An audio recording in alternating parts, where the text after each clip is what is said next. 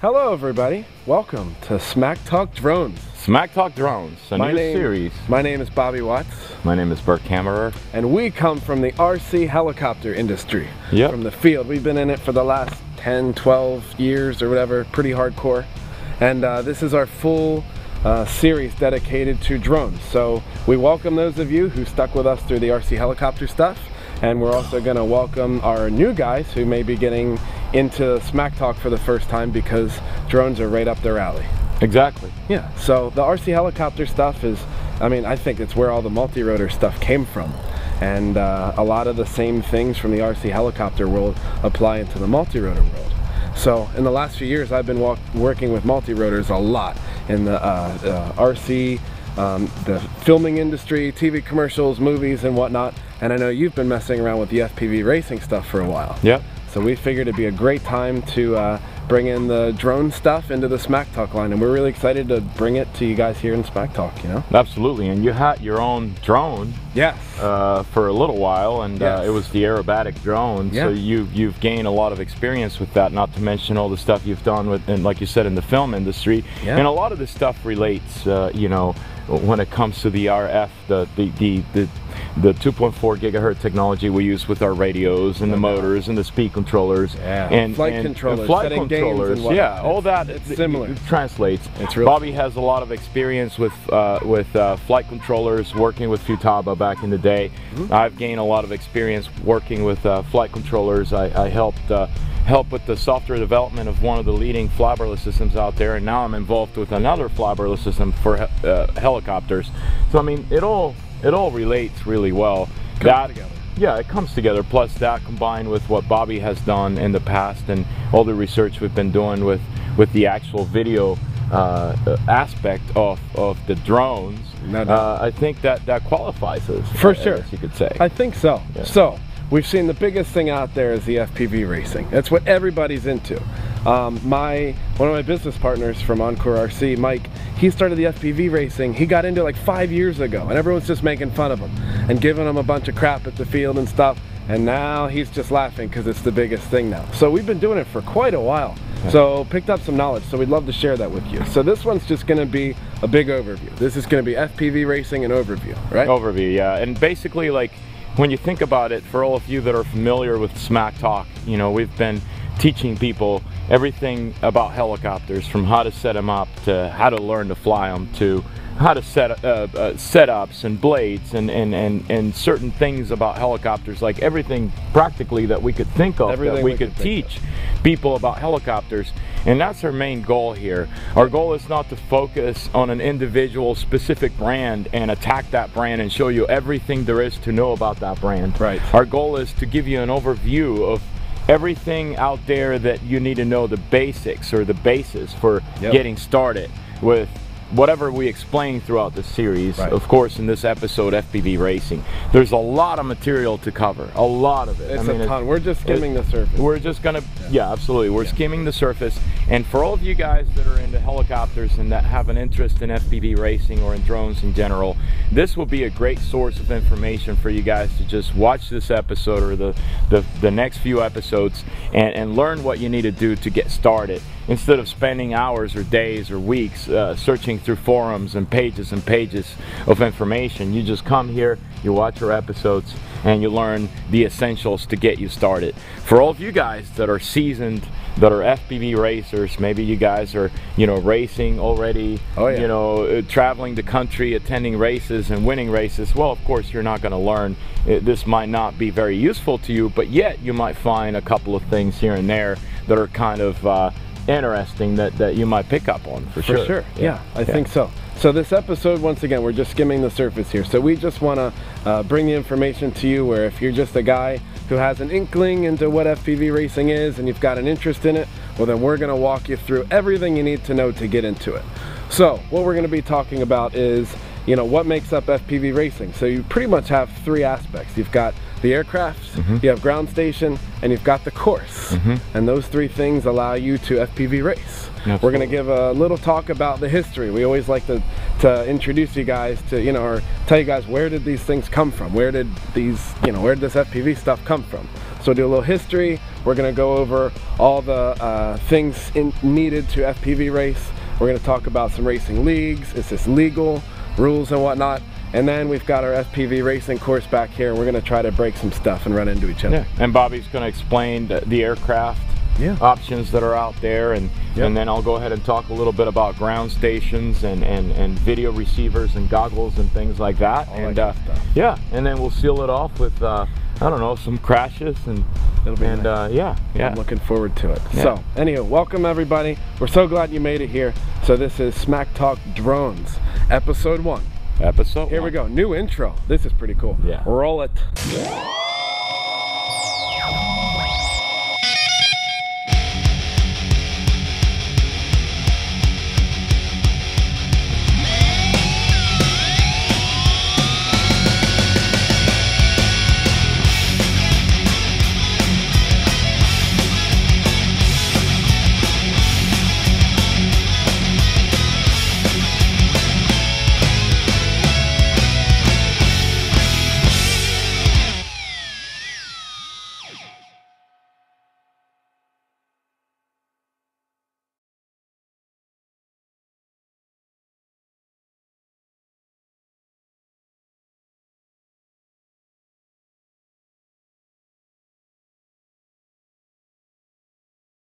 Okay, so now we're going to talk about a little bit of a history. You know, we always like to tell you where these things came from because they didn't just pop out of nowhere.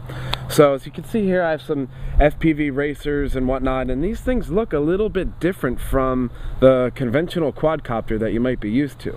I mean, uh, the the multi-rotor, I would say, started as just a simple X. You know, just a simple X frame, and I'd say probably back in the early 2000s um, maybe late 2000s, people were starting to integrate the airplane uh, motors and propellers onto a flat flying platform. And then, you know, I'd just say anywhere in the 2000s, they started kind of uh, getting together what would eventually become a multi-rotor, way before we even thought about calling them drones.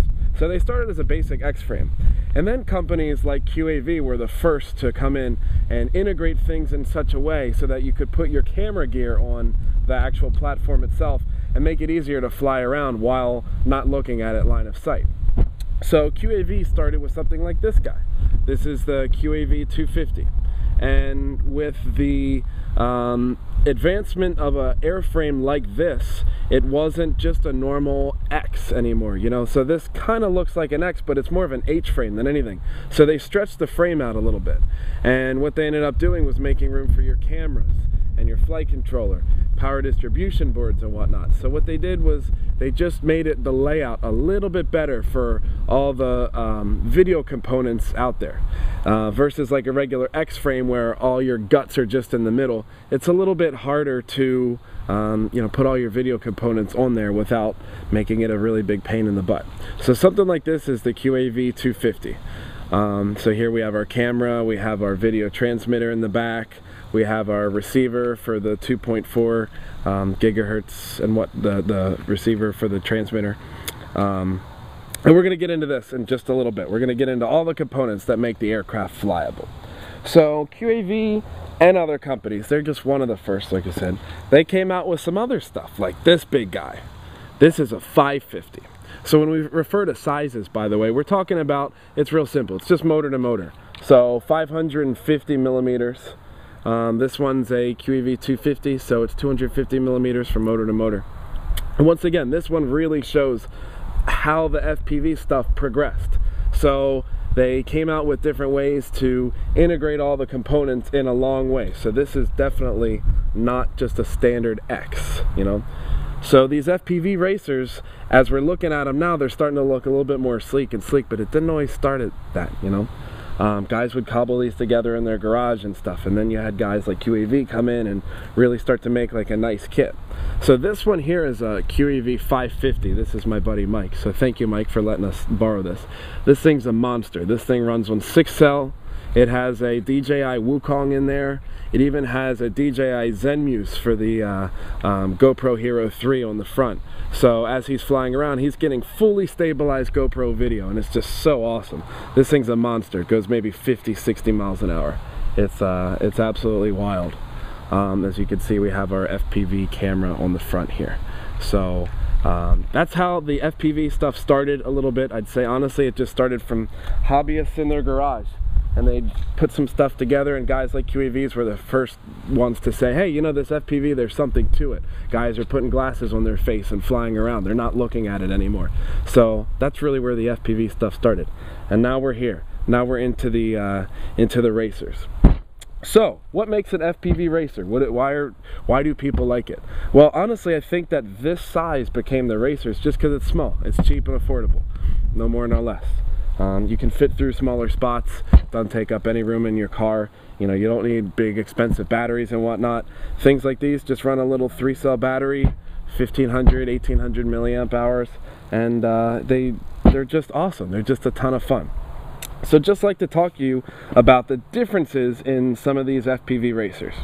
So I'd like to also point out the fact that I still firmly believe that FPV racing is in its infancy it, it's just starting. So something like this, which is pretty popular right now, a QAV 250, it's no different than what it looked like if guys were cobbling it together in their garage. So this is where all the components are required to uh, you just got to put them together yourself. So as you can see, we have the motors and the flight controller and the ESCs in the bottom and a power distribution board. And there's a lot of work involved in this. I mean, this is hours and hours to sit there and solder and put all your components in, to set it up on your computer. I mean, there's honestly a lot of work involved with something like this. And this is a kit form. This one you just buy out of a kit, you buy all your components separately, and you put it together. So this is the QAV 250. Now you can get into something which incorporates a little bit more, but still not too much, something in like this. This is the Scorpion Skystrider. Super cool looking frame.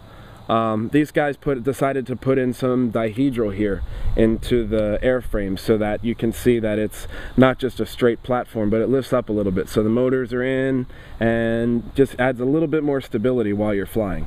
Um, guys like Scorpion decided to put some dampened camera mounts in. So you can see the main FPV camera has a little bit, bit of dampening in here.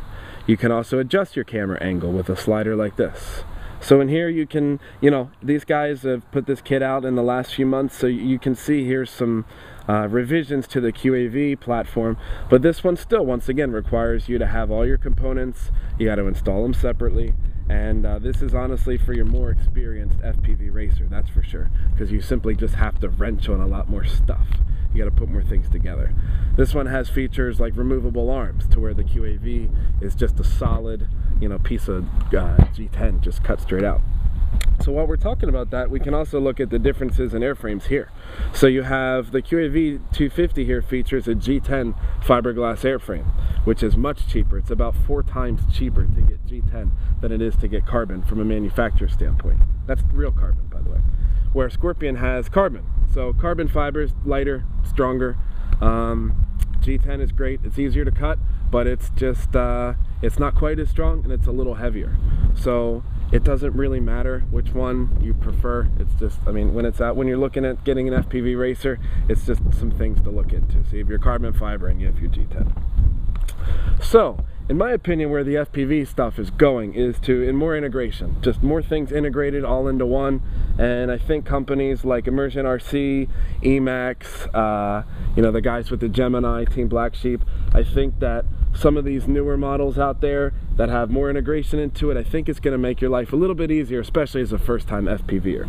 So the FPV stuff, from what I'm seeing for, I'd say, mass markets, are moving into guys like these things, where it's uh, um, everything comes a little bit more integrated. So this is the Vortex by Immersion RC. This thing just comes ready to go. I mean, it's built and you hardly have to do anything to it. You just add your battery and you go. So these things feature, you know, a five inch propeller as most of these others do. Um, this one as you can see here, we have an angled camera option with a flat motor. And with something like this, the Nighthawk Pro from the Emax, you have a straight camera and an angle motor. So we can get into all this sort of stuff later.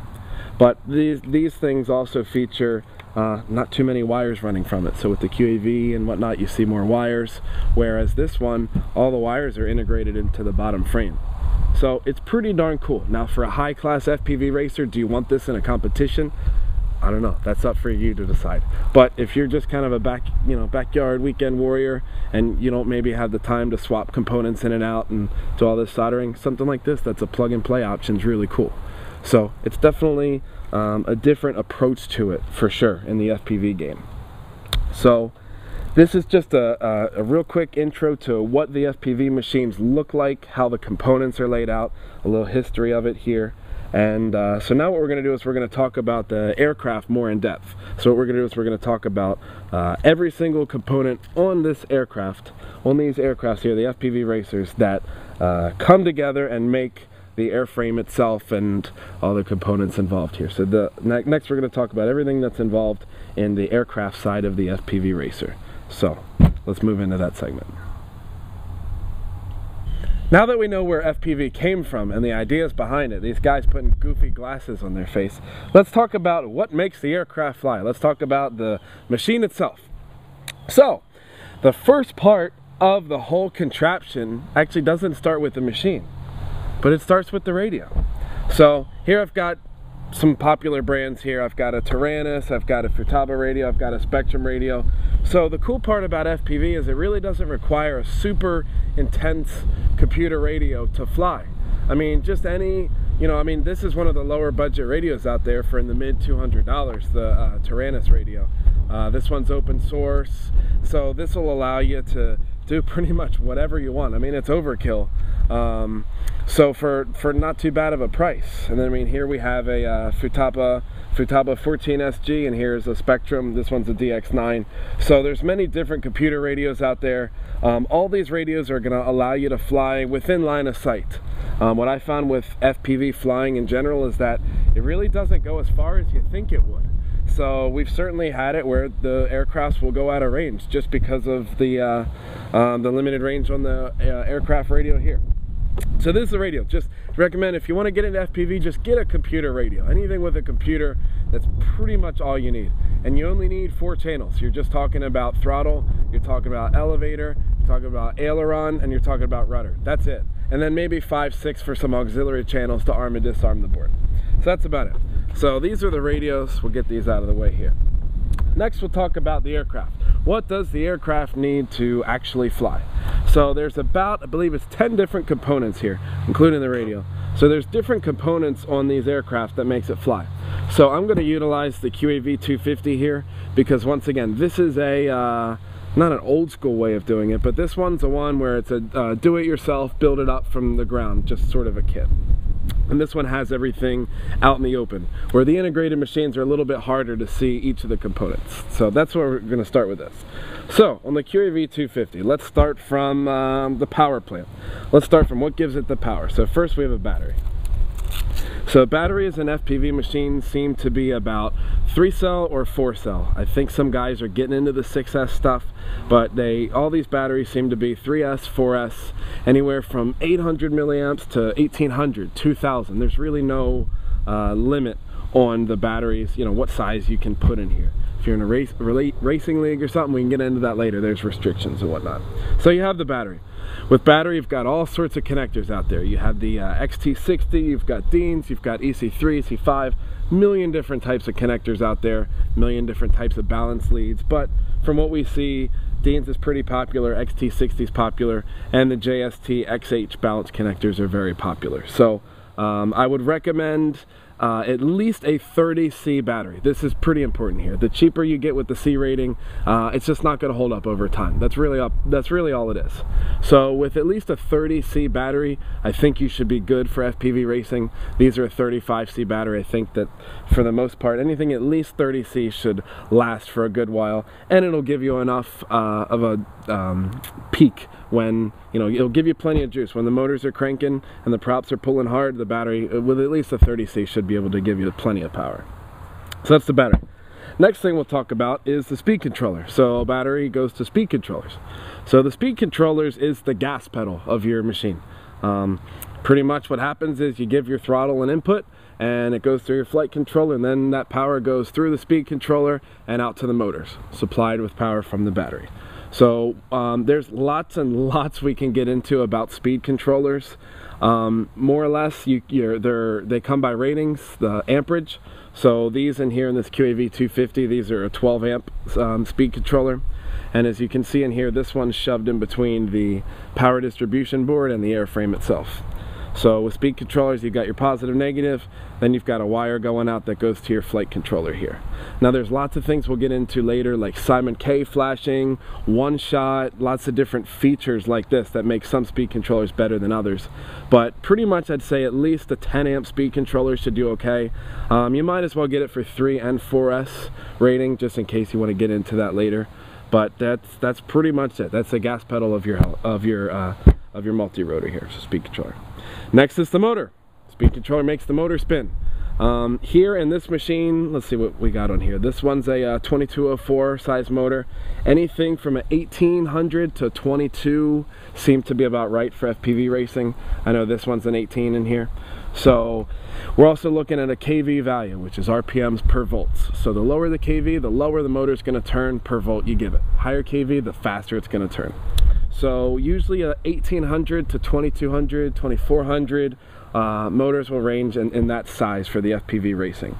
Um, it just depends on your setup and what you want to achieve with it to, you know, for me to recommend a motor to you.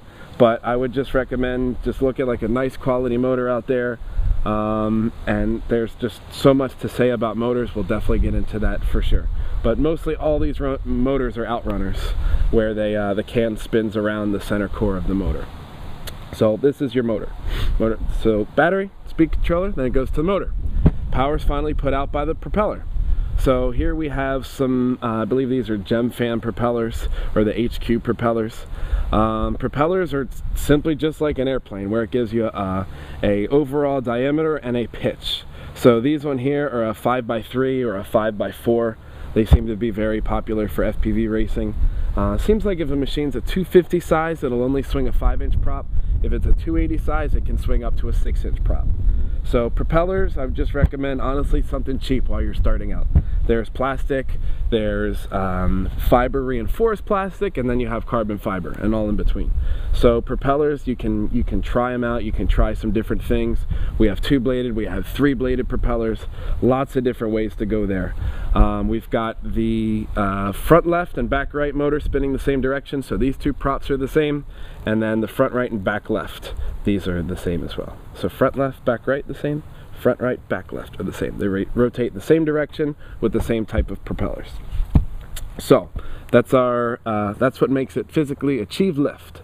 So now what's next? Uh, we have the radio. We need to receive the signal from the radio. So the next thing is the receiver. So on this one, this one's a Spektrum receiver, so this would work with the Spektrum type of radio. Um, and this receiver here simply just picks up the 2.4 signal to the radio here.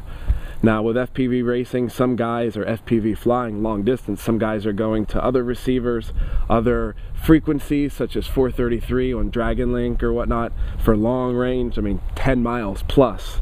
So um, for FPV racing, seems like guys are keeping it real light, real simple with the 2.4 radio. Once again, this will go about line of sight or, or more. Um, so this one here, as you can see, we're uh, in this in this receiver. It's going. I got some wires going from the receiver to the flight controller, and this is just using a regular PWM signal from the receiver to the flight controller.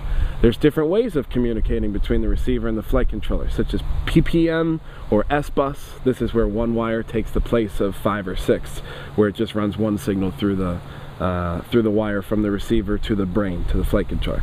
We can get into that later once again. So receiver comes into our flight controller here, and there we have our flight controller. So this one here is a NanoWii. This is a multi-Wii based board. Uh, multi-Wii it uses very similar uh, gyros and accelerometers uh, to like a Nintendo Wii video game controller. So these things are great. They're relatively cheap now. All these flight controllers, you can get all of them for like 50 bucks or under. It's great. Um, a lot of these you have to solder the pins on yourself and flash them yourself. We'll get into that later once again. But the flight controller is the brain. Uh, this thing allows it to uh, maintain stability and to fly the aircraft with ease. If you didn't have this flight controller, uh, this would not be possible. No, no way at all. Uh, so popular brands of flight controllers are Multiwii, uh, Naze 32, that's a real big one. The Naze for sure is a, a very big board right now. You have the CC board. Um, I mean, there's all sorts of boards out there that are really popular. So uh, we can get into those. We'll probably designate a whole episode just to flight controllers. Um, so once again, flight controller is always uh, in the middle of the aircraft, 99% of the times in the middle of the aircraft, just allows it to know where it is in the machine and seems to fly better that way. So we have our flight control here. This is the brain, once again. Okay, so now we need to be able to see where we're going. So next we'll look at videos. So this is the uh, the video camera we have right here. This is just a, uh, a cheap closed circuit TV um, camera. That's where these all came from, like security type cameras. They're anywhere from 20 bucks to 100 bucks, I guess. Mostly everything right now standard def. The high definition stuff is coming, you know what is. But right now everyone's just using a standard def camera. There's different settings and whatnot, but pretty much just any sort of um, uh, uh, closed circuit um, security camera seems to work well. And there's interchangeable lenses and you can adjust your focus right here as well. So the camera then runs to the video transmitter. So while you're looking nice and close, this is the video transmitter right here. And uh, so with video transmitters, we get into uh, lots of different specs, frequencies, power output, antennas and whatnot. So it seems like everyone with FPV racing starts with 5.8 gigahertz. It's just the common frequency out there for video frequency. So everyone's flying 2.4 on the radio, 5.8 on the video transmitter. Uh, they seem to work very well line of sight. Um, there's different power outputs that you can choose. So I believe in some racing leagues the uh, limit is 250 milliwatt, and I've seen these go up to uh, um, I've seen them go up to a thousand milliwatts, so one watt. I mean, it's crazy in power. So depending on the uh, racing league you're doing or racing with buddies or whatnot, um, for the most part, the lower the power, the less you're going to step on other channels. So if you got five or six guys racing, you're not going to step on each other's frequency. But the less distance you can go, the less range you can go. Uh, the higher the power, simply just the more power it's putting off from this machine, and the further you can go if your antenna setup is correct. Um, usually we go with anything from uh, 200 to 600 seems about right. So this one has dip switches on there where you can physically select your channel, analog, once again, going back to it, FPV is in its infancy. This is analog. I mean, we've got the coolest digital radio here, but this is just some, you know, 50 year old technology here with this analog stuff and dip switches. So once again, I have a feeling when this starts uh, evolving, the video is going to become HD and your uh, video transmission signal is going to become digital. And it's all matched and paired. You won't step on each other's toes or shoot each other down. So I think that's where it's heading. So once again, 5.8 is the popular frequency. Um, another one that's really popular is 1.2 or 1.3 gigahertz. Much lower, travels further. Um, I've seen that. I, believe, I, I honestly believe after trying it for a while, I think the video quality is a little bit less than 5.8, but 1.2, 1.3 seems to go real far. So uh, for those of you guys who want to do long range racing and whatnot, the 1.2 or 1.3 seems to be a little bit better. Although channels are limited here in the USA. I think you can only get two channels, of 1.2 or 1.3. Although if you order from China, you can probably get more channels. But I didn't tell you that. So, that's our video transmitter here. And the last portion of the whole setup that we'll talk about is the antenna. So on your video transmitter here, you've got uh, a video antenna. So this one, once again, so this one's a 1.2. I forgot this one isn't my model. So this one here is a 1.2 transmitter here. Uh, this one, for example, is a 5.8. So this one's a 1.2 or 1.3. And this one has just a simple whip antenna on it. After doing some testing, this one seemed to work just fine for this antenna as far as we were flying it. But there's many different types of antennas. Here we've got a mushroom, we've got cloverleaf, we've got patches, we've got all sorts of different types of antennas. So we can get into that later for sure, because there's a lot to be said for changing up your antenna uh, system here. So, all that said, this is the aircraft. This is the guts that makes the thing fly. You can have some peripherals in there like LEDs. Uh, you can also have some other cameras on board to allow for uh, recording while you're flying. So for example, for example, on this aircraft, we have two cameras. So we have a, uh, a real-time video camera, and we have this camera called a Mobius, which records in high definition your actual flight. So there's many different varieties and whatnot. There's many different things you can change in and out to make the aircraft better or you know do different features that you're looking for it to do. But for the most part these are the 10 key features that make an aircraft fly. Now that you know how it's flying let's take a look at the ground station. So let's see what's involved in the ground station. How do we get all this back down to us so that we can race? So Bert's gonna go over that for you guys so Bobby just finished explaining the aircraft, the transmitters, and all the other equipment. One very important thing about FPV is your ground station. Why? Because you need to be able to see where you're going. And in my opinion, there's four important aspects of a ground station. First, you need a receiver. Then you need an antenna. Then you need a monitor. And of course, a power source to power everything up. Um, as you can see here, this is made by Fat Shark uh, Immersion RC. It's, it's a very popular set of goggles. The goggles are pretty much your monitor here. And you basically buy a receiver that you plug into your goggles. It looks like that. It's a pretty small piece of electronic right there. And uh, they're pretty inexpensive too, just a couple dozen dollars or whatever, 20, 30, 40 bucks.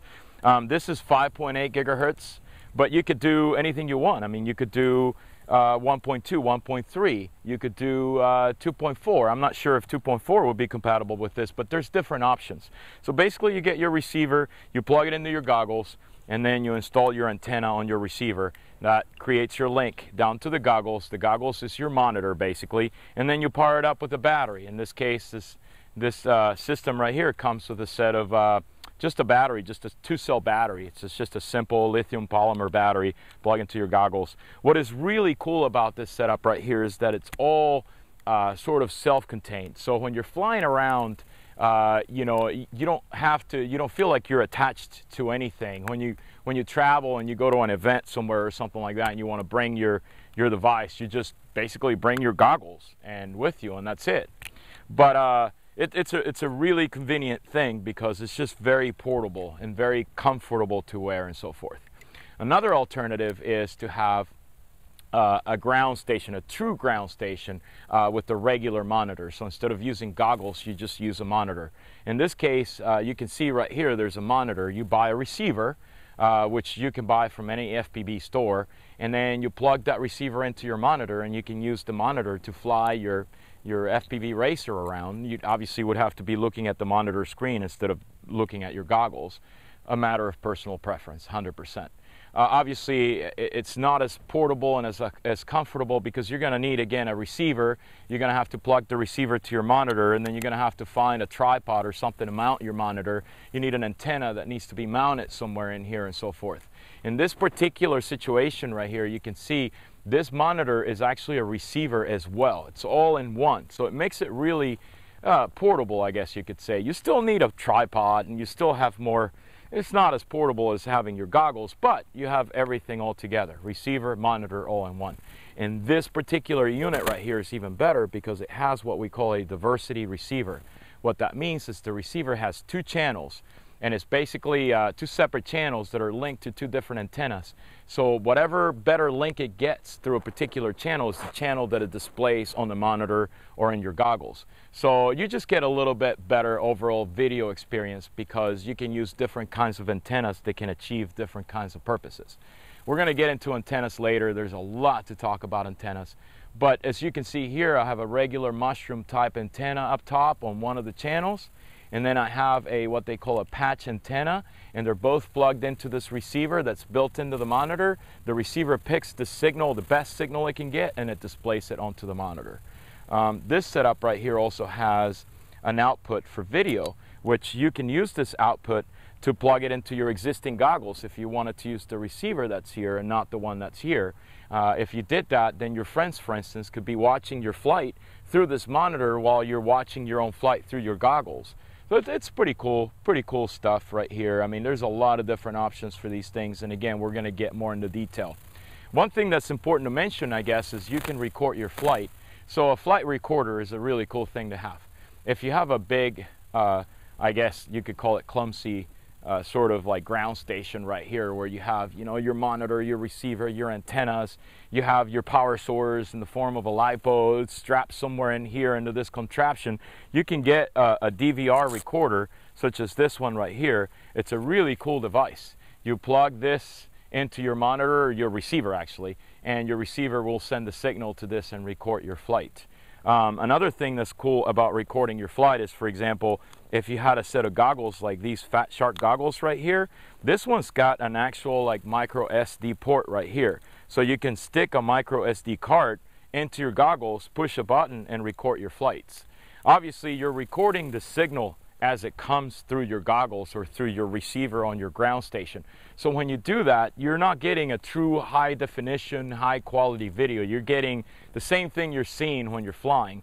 If you want high quality video, you need to get into a different type of camera like a Mobius or a, a, a GoPro camera that's recording parallel to your flight. But this is kind of cool to have because if you're flying around in a wooded area and you end up crashing, you can play back your video and see exactly where you crashed and it might make it easier for you to, to go and find your model. So, so that's about it uh, for ground stations. There's one important thing. It's actually not the least important. It's probably the most important. The chair you do need a chair when you fly FPV. Have you ever tried to do FPV? If you've never done FPV before, when you put these goggles on, trust me, you're, you're gonna fall on your butt. So make sure you have a chair and you're sitting very comfortably. And when you put your goggles on, if you start doing crazy stuff or you go out of control, you're not going to tip over and fall.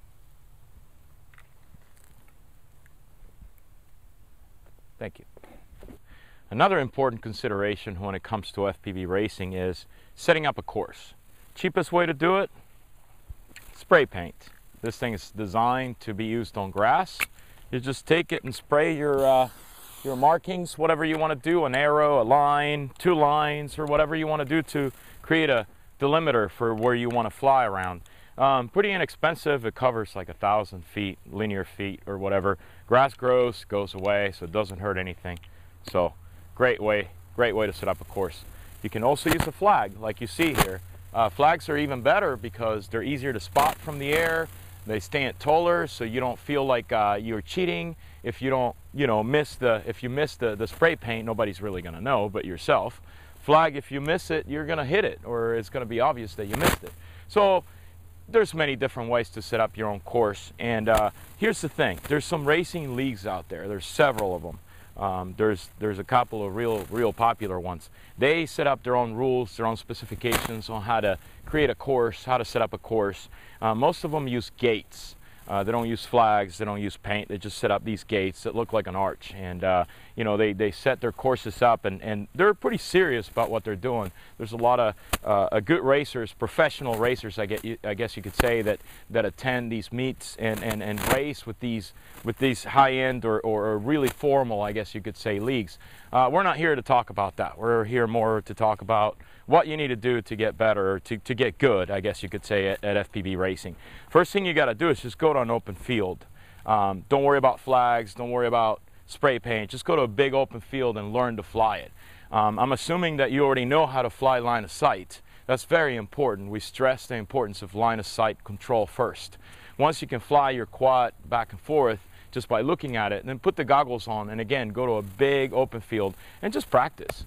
Uh, once you get good at it, then you can start getting creative with setting up your courses like I showed here. Spray paint, flag, you know, in this particular situation, I guess I'm really fortunate. This is my own property right here. And as you can see, I have a lot of trees.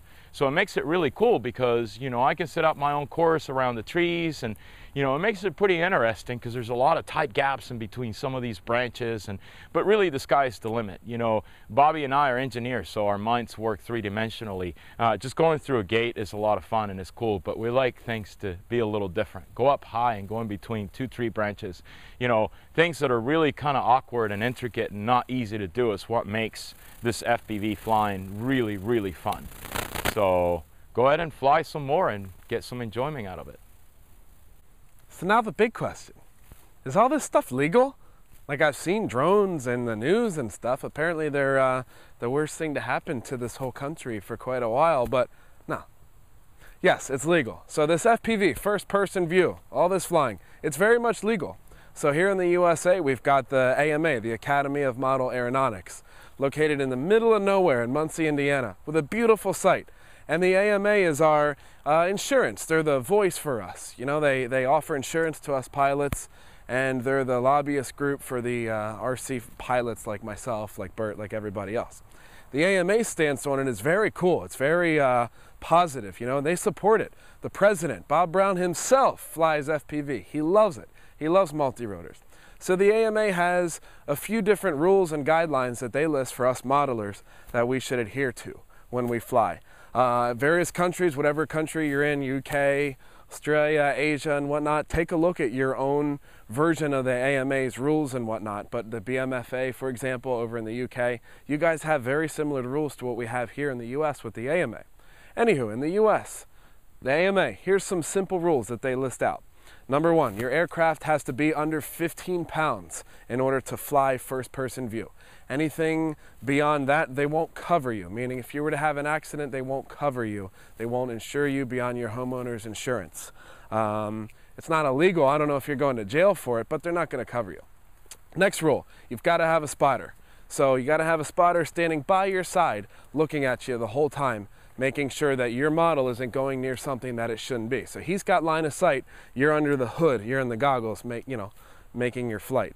The next rule, under 70 miles an hour. 70, that's fast. So, I mean, these guys are preparing for, you know, the future with these new models and whatnot, the new technology. So it's really cool that they're, they've got us in mind. I, I like it. Next one, it's got to be within line of sight. So your spotter's got to have a line of sight of it the whole time. So if you're flying miles and miles away and he can't see it anymore, unfortunately you're not adhering to the AMA's guidelines and their rules. So you're going to have a problem with that. Uh, beyond that, they've got some little things in there, like uh, your first flight on any model, you've got to have visual line of sight for the, the shakedown of the flight and you've got to have a few flights on it, solid visual line of sight before you go full FPV with it. But beyond that, honestly, it's just common sense. So they list a few rules, regulations, a few guidelines, but for the most part, a lot of it's just common sense. They fully support us. It's, it's not a problem. You know, so if, if you were to be flying your model and something were to happen and heaven forbid you hit a piece of real estate or property, if you're flying here and you hit the neighbor's trailer or something, AMA will actually cover you. It's the same rules we've got for RC helicopters, RC airplanes and whatnot. If you're being a good modeler, a good responsible modeler, AMA is going to cover you. So insurance, yep, it's totally legal. Um, don't be a moron with it. Don't fly in public crowds. Don't fly over people. Don't do that stuff with, with these multi-rotors and these drones. Because your FPV, you can go into a lot of different places that you couldn't go before with an RC helicopter or an RC airplane. So just be responsible, use some common sense.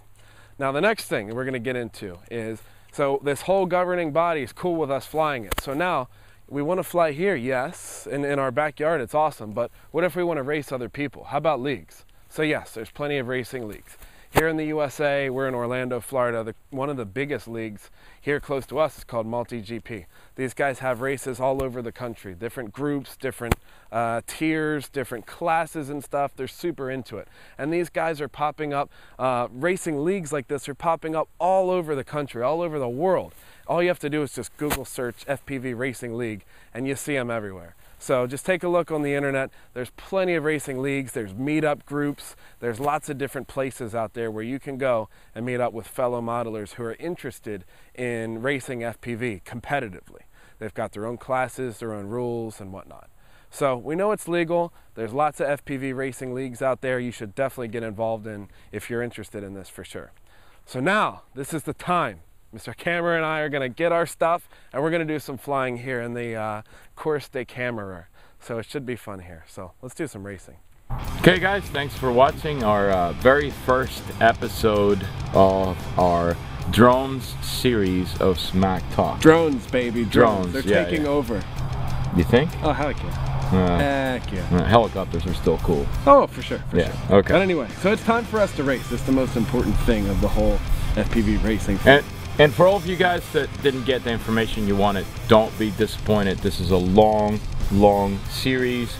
Like we said before, lots to cover. We're gonna No doubt. try to get over. Like we're gonna talk about all kinds of stuff. We're going to be very episodes. detailed eventually. But Yeah, Here's just yeah. a nice overview. Yeah, it's just an overview. So now I'm going to So now I'm gonna gonna kick his butt. I'm going to smoke him. I'm going to smoke him. So until next time. It's race time.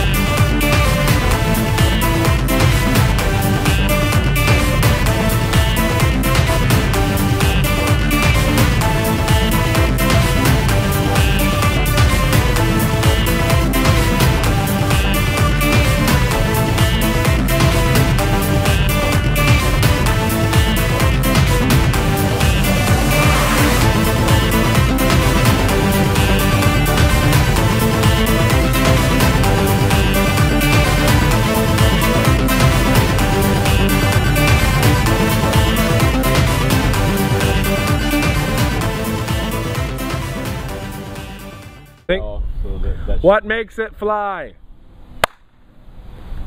I would say the most important, if not the most important part of FPV flying is the ground station.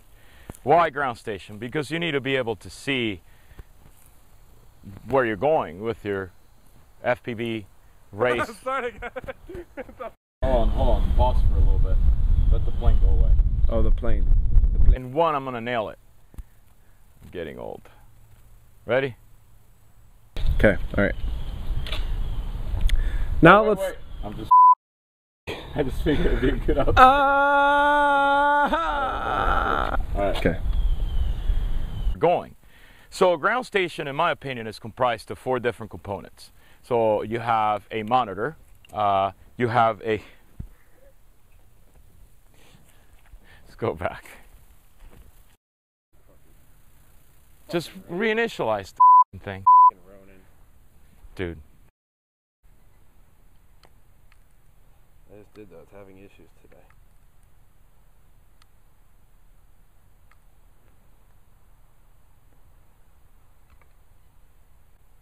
Huh?